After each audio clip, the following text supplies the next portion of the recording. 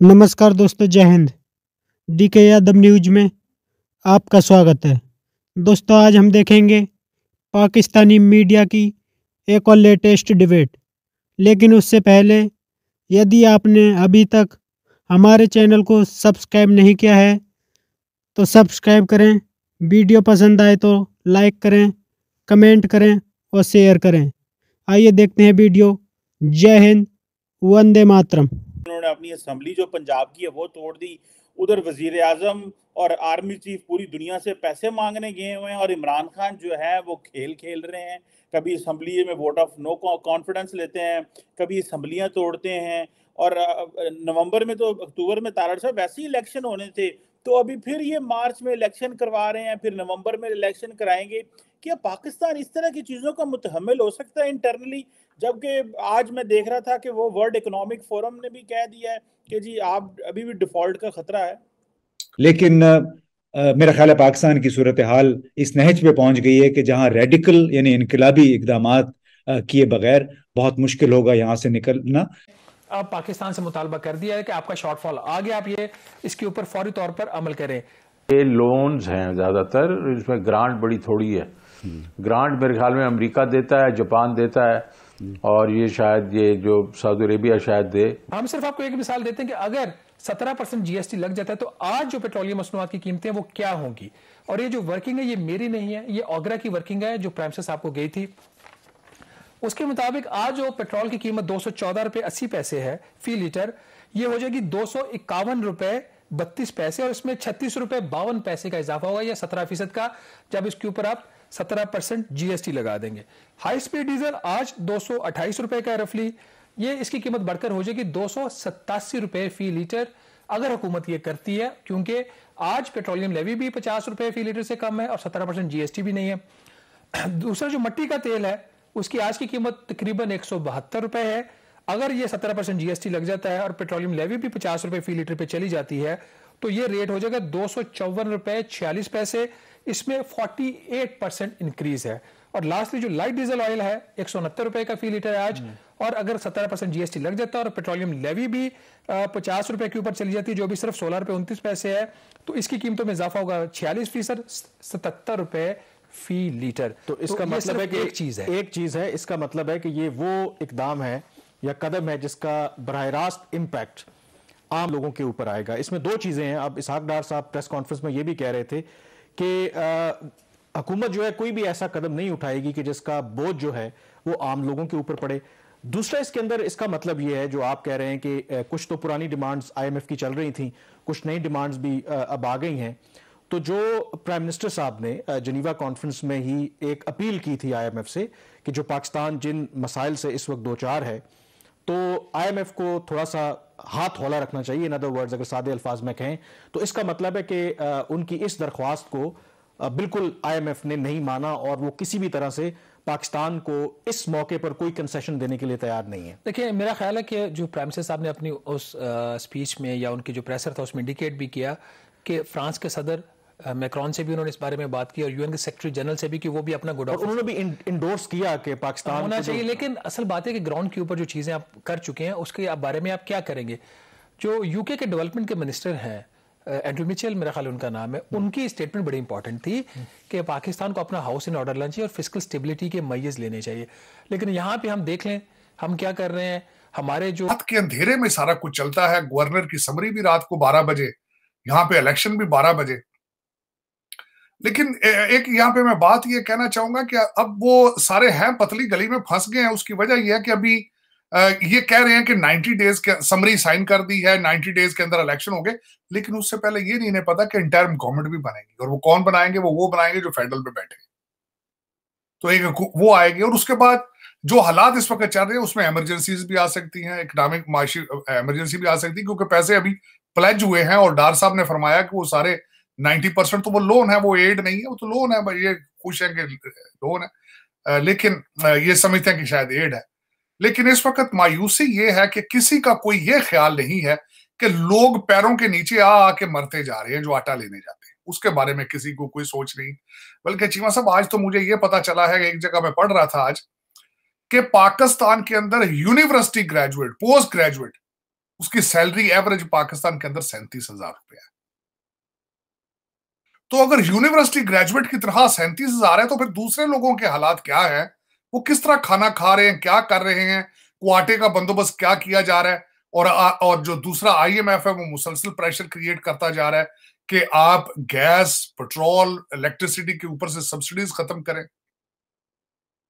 और जब वो सारी कुछ आएगा तो उसके लिए क्या क्या क्या? मेरी तो समझ से बाहर है। कि इस वक्त अब पाकिस्तान में क्या होने वाला है कहाँ जाई जा रही हैं चीज़ें? हमारे आर्मी चीफ साहब वापस आए हैं अब वो भी सऊदी अरेबिया से चीज़ें, पैसे जो लेकर आए हैं अभी तो हर चीज़ अभी प्लेजड है, अभी तक कोई आई नहीं है। यूएई ने भी बातें की हैं, लेकिन अफसोस के साथ ये कहा जा रहा कहा जाना चाहिए कि Pakistan is is in very bad shape politically ethically economically कोई समय से बाहर है कि इस वक्त अब हमारी डायरेक्शन क्या है? कोई अभी तक समय से बाहर है और दुनिया की वायद एक अटामिक पार ऐसे है जो कि बड़े अरसे से घुटनों के बल है और मांग मांग कर गुजारा किया जा रहा है कोई समय और नून लीग वाले अब देखें एक और मैं यहाँ पे चीमा साहब बात ये ज़रूर करना चाहूँगा कि आप नून लीग की बात करें, नून लीग तो पार्ट टाइम में मेरे ख्याल सियासत में वो उन्होंने तो जो इस वक्त जो लीडर ऑफ़ द अपोजिशन थे he is not in the country Maryam Nawaz is not in the country Shahbaz Sharif is in it was in UAE Rana Sanaullah was the only leader मेरा ख्याल है, जो जिन, जिसके जिम्मे ये सारा कुछ लगाया गया था तो आप खुद ही देख ले। मैं एक चीज़ बार बार आपके सेगमेंट में कहता रहा कि जब जब एजेंसियों की मदद से हुकूमत में आना हो तो फिर लोग जो है वो सियासत इसी तरह करते हैं जिस तरह वो कर रहे हैं।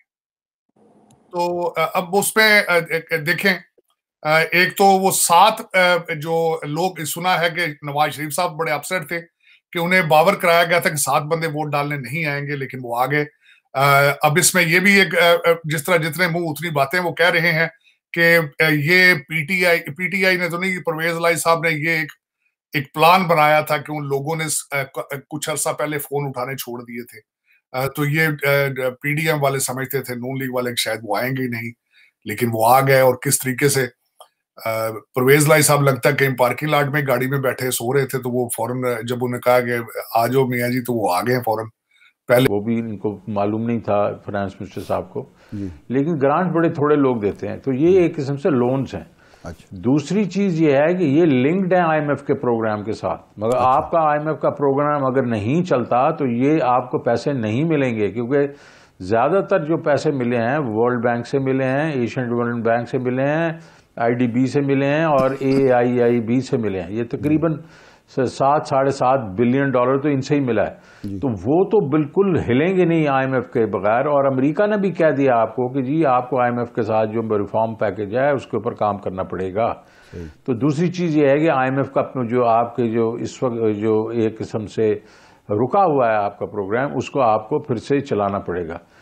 तीसरी चीज़ ये है इसमें कि ये जो है ये फिफ्टी फिफ्टी है ये आपको पैसे फॉरेन करेंसी उस वक्त देंगे जब आप लोकल करेंसी जो है टेबल पे रखेंगे। अच्छा। तो वो आपके पास इस वक्त फ़िज़िकल स्पेस है बहुत थोड़ी।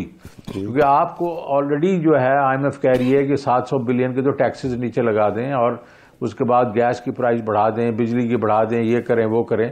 तो फ़िज़िकल स्पेस तो आपके पास जितनी गुंजाइश होगी उतनी ही आप पैसे रखेंगे ना। तो इसलिए अगर ये एक किस्म से बड़ी अच्छी चीज़ है कि इंटरनेशनल कम्युनिटी ने आपके ऊपर एक किस्म से आपके साथ आपकी मदद की है फ्लड्स के लिए। लेकिन अगर आपका ख्याल है कि ये शॉर्ट टर्म के हमारे जो मस, मसाइल हैं वो इससे हल होंगे तो शॉर्ट टर्म के मसले जो हैं मेरे सिर्फ़ दो जगहों से जो पैसे इन्होंने लिए हैं। अभी जो इन्होंने वो आया एक यूई ने बिलियन डॉलर एडिशनल दिया है और एक सऊदी अरेबिया ने कहा है कि वन बिलियन डॉलर जो है वो हम उसका तेल डिफर्ड तेल देंगे। तो ये दो बिलियन डॉलर की तो आप रख सकते हैं अगले एक, एक दो महीनों में। बाकी जो है ये, ये मामला जो है ये लंबा है। नमस्कार दोस्तों जय हिंद।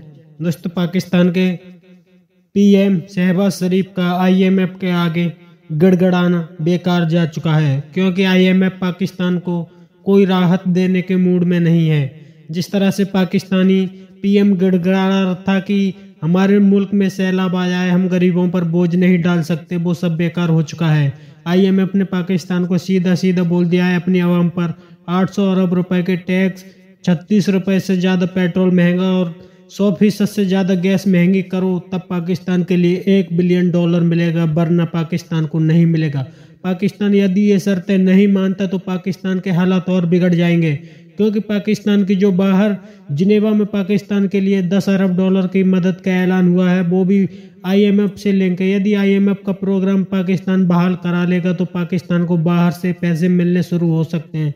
यदि पाकिस्तान आईएमएफ प्रोग्राम बहाल नहीं करा पाता तो पाकिस्तान के हालात काफ़ी तेज़ी से बिगाड़ की तरफ़ जाएँगे, क्योंकि आईएमएफ के अलावा पाकिस्तान के अलावा कोई चारा ही नहीं है। आईएमएफ की हर शर्त पाकिस्तान को माननी पड़ेगी, इसके अलावा पाकिस्तान के पास कोई चारा नहीं है। क्योंकि दोस्त मुल्क भी पाकिस्तान को बार बार यही हिदायत दे रहे हैं कि पहले आईएमएफ से पैसे लेके दिखाओ, उसके बाद हम आपके लिए थोड़ी बहुत मदद का सोचेंगे।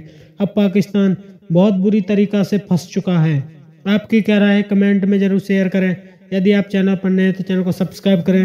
वीडियो पसंद आए तो लाइक करें, कमेंट करें और शेयर करें। जय हिंद, वंदे मातरम।